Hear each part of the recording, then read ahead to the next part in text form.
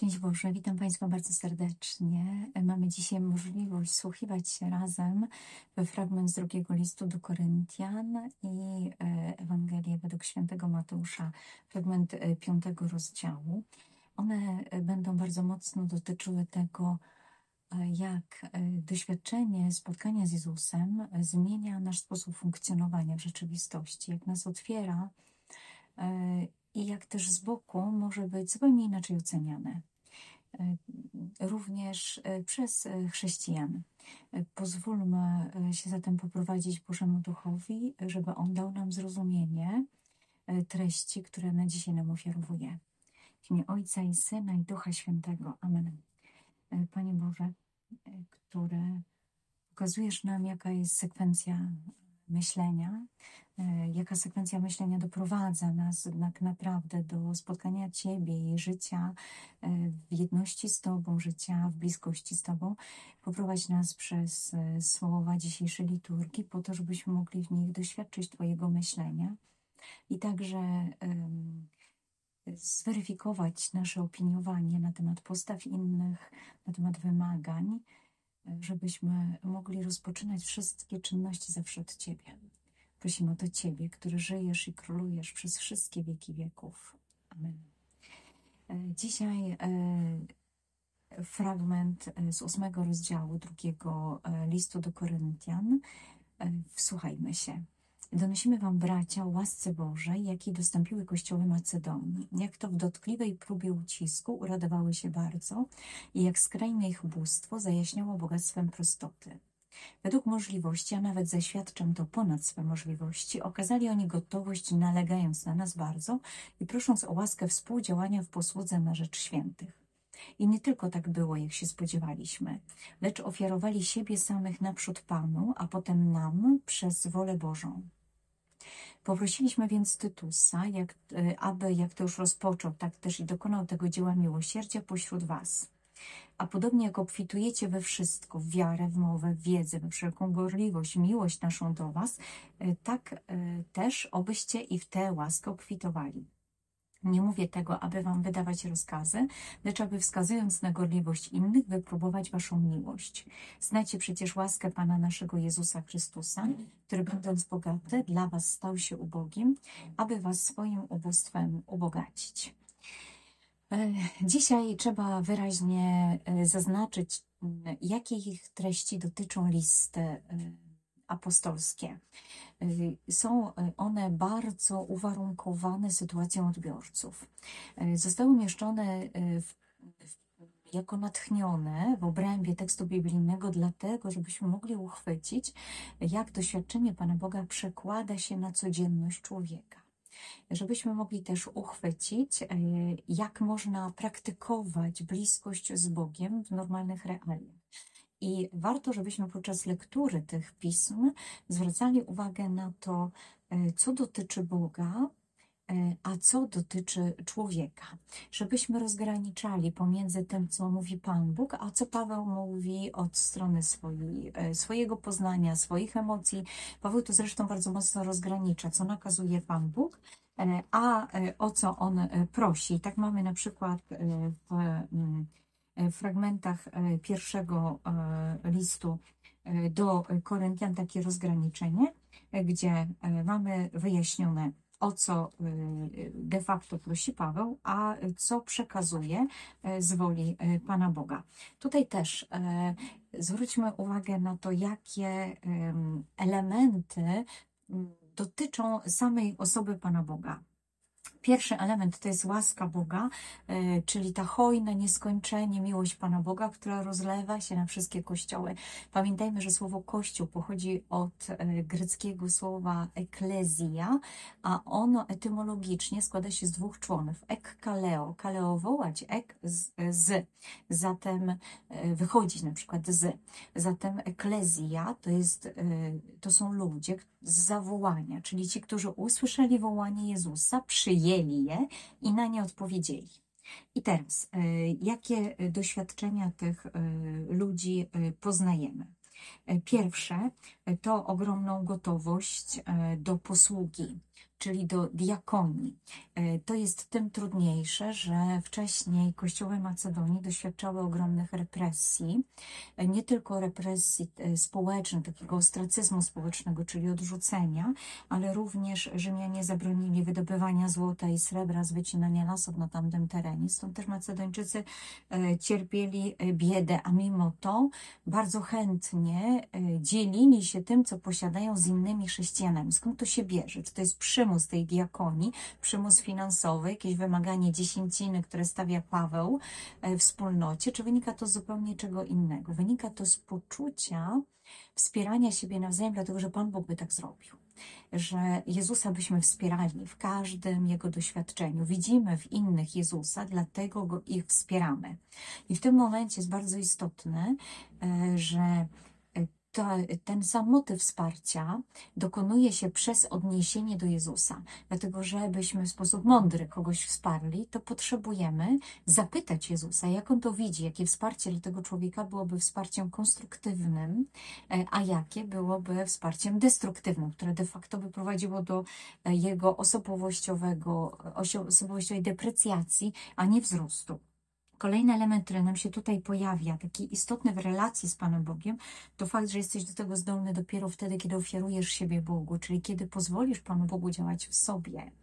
Zatem e, nasz kontakt z Panem Bogiem nie buduje się liczbą i wielkością ofiar, na co już zwracał uwagę e, Micheasz e, w szóstym rozdziale swojej księgi, ale buduje się wsłuchiwaniem się w Niego e, i zauważaniem tego, co On nam pokazuje, czyli włączaniem się na służbę, taką, do której On nas prowadzi. Paweł zaznacza, że jego interlokutorzy obfitują we wszystko, w otwartość na Boga, w przyjęcie Boga, czyli w wiarę, w mowę, w przekaz o Bogu, w wiedzę, w poznanie Boga, we wszelkie zaangażowanie, e, a także w miłość. I to jest podstawa do budowania wspólnoty, dlatego że bazą jest odniesienie do Jezusa i dopiero z tego odniesienia wynika wsłuchiwanie się w misję, którą On, którą on e, wskazuje. I ten finisz E, Chrystus, który będąc bogaty dla Was, stał się ubogim. On nam sugeruje, e, że w myśleniu Jezusa jest ofiarowanie siebie, ale nie chodzi tutaj o postawę, która będzie w nas wytwarzała myślenie, dobrze, dam dużo, otrzymam dużo, zatem postawę wymiany, handlu. Ale chodzi tu najpierw o to, żebyśmy weszli w myślenie Jezusa, żebyśmy tak się nim zafascynowali, by Jego um, ofiarowanie siebie człowiekowi, ofiarowanie siebie Ojcu było dla nas kompatybilne z naszym sposobem myślenia, naszym sposobem funkcjonowania. Było dla nas na tyle fascynujące, że chcemy za Jezusem tak iść, a nie przeliczamy to na, to na konieczności i na obowiązki. Zatem E, tutaj e, psalmista nam bardzo pomaga, e, ponieważ poddaje nam refren Przez całe życie będę chwalił Pana, czyli we wszystkim, co się dzieje, będę widział wartość Boga i będę tę wartość Boga ogłaszał, a przez to dopiero będę przez Niego prowadzony. I to jest bardzo ważne, dlatego że wraz z kreowaniem ofiarności, czy wchodzeniem w obowiązki względem wspólnoty bez uprzedniego, jakby uprzedniego takiego popchnięcia przez Pana Boga, czy takiej stymulacji właśnie z Jego strony, będziemy potem odczuwać te obowiązki, jak i tą ofiarność, jako wielki ciężar, który nam po prostu przeszkadza, ponieważ został wykonany jako obowiązek, więc tym samym nasza psychika go odrzuciła. Zatem yy, u podstaw potrzebujemy, żeby stała fascynacja Jezusem i naprawdę funkcjonowanie e, razem z Nim. E, tekst Ewangelii e, pokazuje nam, jakie granice są w tym funkcjonowaniu. To jest fragment z piątego rozdziału Ewangelii według świętego Mateusza. Jezus powiedział do swoich uczniów: Słyszeliście, że powiedziano: Będziesz miłował swego bliźniego, a nieprzyjaciela swego będziesz nienawidził. A ja wam powiadam, miłujcie waszych nieprzyjaciół i módlcie się za tych, którzy was prześladują, abyście się stali synami Ojca waszego, który jest w niebie, ponieważ On sprawia, że słońce Jego wschodzi nad złymi i nad dobrymi i On zsyła deszczy na sprawiedliwych i niesprawiedliwych. Jeśli bowiem miłujecie tych, którzy was miłują, cóż za nagrodę mieć będziecie? Czyż i celnicy tego nie czynią? Jeśli pozdrawiacie tylko swych braci, cóż szczególnego czynicie? Czyż i poganie tego nie czynią? Bądźcie więc wy doskonali, jak doskonały jest Ojciec Wasz niebieski. I teraz zwróćmy uwagę na sam wstęp, e, który e, różni się e, od innych fragmentów. Różni się nie przywołaniem pisma, nie przywołaniem ojców, nie przywołaniem prawa, ale przywołaniem tego, co słyszeliście. Słyszeliście, że powiedziano, E, wcześniej było też, słyszeliście, że powiedziano przodkom e, przekaz ustny, za którym idzie też ustna interpretacja. I tutaj przekaz wyjątkowo, e, te słowa w tym fragmencie są istotne, dlatego że dochodzi do swoistego zniekształcenia przez ustną tradycję tego, co było w piśmie. Przekaz pierwszy, będziesz, będziesz miłował swojego brata przekaz tradycji ustnej, dopowiadający, będziesz swego y, nieprzyjaciela nienawidził. Tego fragmentu, tej frazy o nienawiści nieprzyjaciół nie mamy nigdzie w tekście biblijnym. Zatem to już jest interpretacja. I teraz e, mamy Jezusa, który mówi, e, nie takie jest myślenie Ojca. E, I przyjrzyjcie się, z samej logiki funkcjonowania Boga. Jeżeli spada deszcz, czy świeci słońce, ono świeci tak samo nad sprawiedliwymi i nad niesprawiedliwymi, nad złymi i nad dobrymi. E, I deszcz spada na sprawiedliwych, czyli tych, którzy wchodzą w myślenie Pana Boga, i na tych, którzy nie wchodzą w myślenie Pana Boga. I w ten sposób zostaje nam pokazane, jak jest ukierunkowany Pan Bóg. Pan Bóg nie dzieli ludzi według ich postępowania, ale na każdego patrzy jak na swoje dziecko. E, I nie różnicuje tych dzieci pod względem ich zasług, ale różnicuje pod względem ich indywidualności, żeby to było adekwatne do ich tożsamości. E, jeżeli e, ojciec, jeżeli Bóg pokazuje się jako ojciec i daje swoim dzieciom taki sam horyzont, takie, jakby taką samą obfitość darów, to jakim prawem my moglibyśmy różnicować ludzi, skoro Pan Bóg ich nie różnicuje. A bardzo często kolokwialnie się mówi o ludziach dobrych, ludziach złych, e, ludziach tych za i tych przeciw. E, I Jezus tutaj do tego kolokwializmu się odwołuje i mówi: Ojciec nie traktuje was w ten sposób. Dlatego też nie macie prawa czuć się gorsi, bo ojciec traktuje was wszystkich adekwatnie do waszej tożsamości, a nie do waszych zachowań. I e, stąd e, to wezwanie e, do, e, do kochania każdego człowieka. I stąd, jeżeli kochacie tylko tych, którzy was kochają, czyli jeżeli jest to po prostu oddanie tego, co otrzymaliśmy, Jezus mówi, to jest zapłata po prostu. To jest czysty rachunek. Tina miston echete. Macie za to zapłatę.